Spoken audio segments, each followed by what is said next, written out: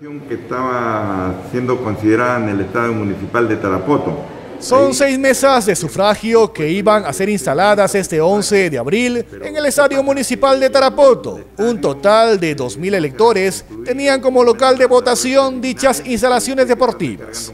OMPE determinó cambiar de local por medidas de seguridad. Dichas mesas fueron trasladadas al colegio Juan Jiménez Pimentel ante la necesidad de brindar más comunidad y salvaguardar la integridad física de los electores miembros de mesa y otros actores electorales. Víctor Cabrera Rodríguez, jefe de la Oficina Descentralizada de Procesos Electorales Tarapoto, señaló que previo a la determinación, los miembros de mesa fueron capacitados, logrando obtener un 70% de respuesta.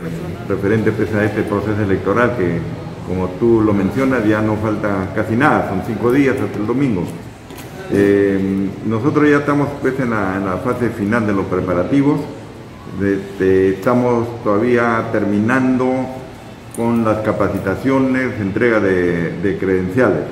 El día de ayer se realizó la segunda jornada de capacitación en todos los distritos de, la jurisdicción que le corresponde a esta oficina descentralizada. En, en cuanto a la entrega de credenciales, ya hemos superado el 70%, o sea, ya hemos alcanzado la meta, previsible para todo el proceso. De igual manera, hemos superado la meta de capacitación, que es el 57%. Eh, eso nos da una idea de que mm, el proceso electoral va a ser este, positivo, favorable, en el sentido de la organización y la concurrencia, tanto de los de los miembros de mesa como del personal de electores. ¿Cuánto está ya al 100%? ¿Están las mesas de sufragio ya habilitados? Este? Claro, o sea, no tenemos mesas de críticas, ¿no? Ya hemos superado ese, tema y esperemos pues este, la concurrencia de los miembros de mesa el día el día domingo 11 de abril. Asimismo, el funcionario indicó que las mesas reasignadas al emblemático Jiménez Pimentel son la 073413, 073414, 073415, 073416, 073417 y la 073418 cada una con un total de 300 electores. Pidió a los ciudadanos que nuevamente vuelvan a ingresar a la página de la OMPE para conocer la modificación del lugar. Solamente un local de votación que estaba siendo considerada en el Estado Municipal de Tarapoto. Ahí eh, habíamos dispuesto ya de seis mesas de sufragio pero ¿qué pasa? Que el estadio eh, no se ha concluido, por lo menos las labores preliminares, este, sé que están descargando material, está en un estado calamitoso que no permitiría el acceso del público, por lo cual este, estamos haciendo el traslado al colegio Juan Jiménez Pimentel. Entonces ahí las mesas, las seis mesas que habían en el estadio van a pasar al Juan Jiménez Pimentel. Entonces eso yo este, ya por otro medio también estamos haciendo la difusión para que el, día domingo no tenga contratiempos los electores y vayan directamente al Juan Jiménez Pimentel. Entonces, estas personas, ¿cómo van a saber eh, qué mesa es o si se ha movido alguna numeración? ¿Qué es lo que tienen que hacer ellos? Las mesas continúan siendo las mismas, ¿no? Los 300 electores por mesa, o sea, eso no ha variado. Lo único que ha variado la ubicación. En vez de concurrir al estadio municipal, van a tener que concurrir al Jiménez Pimentel. Tienen que ingresar nuevamente a la página para saber su, local de votación. De preferencia que ingresen a la página, entonces ahí está la nueva ubicación. O sea, solamente ha cambiado la dirección. Asimismo, el día 11 van a haber personal de la OMPE que tiene la función de orientadores, de organizadores de fila.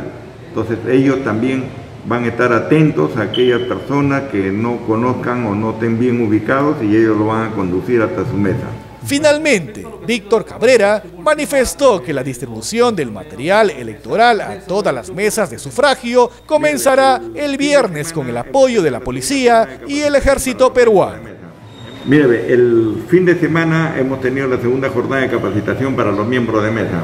Hemos tenido una afluencia más o menos del 25%.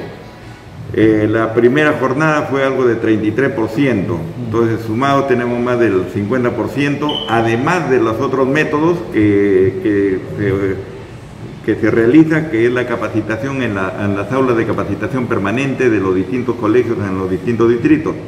Eh, asimismo, este, también se, hay la capacitación virtual.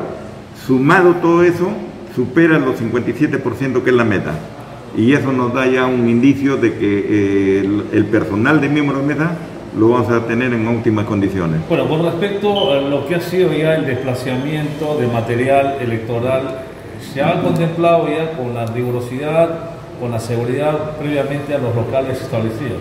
Sí, ya nosotros tenemos ya todos los locales de votación ya determinados, ¿no? Justamente están en la página web para que los electores lo vean. Ya tenemos los, los locales. El, el despliegue se va a realizar el día viernes 9 de abril, ¿no?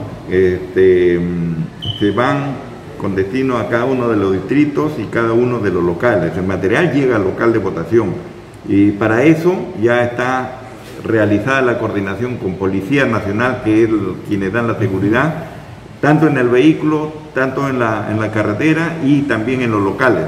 O sea, ese material llega con plena seguridad, ¿no? desde que sale de acá hasta que llegue el local. Asimismo, en, los distintos distritos ya, ya se va a encontrar las Fuerzas Armadas que también refuerzan esa seguridad.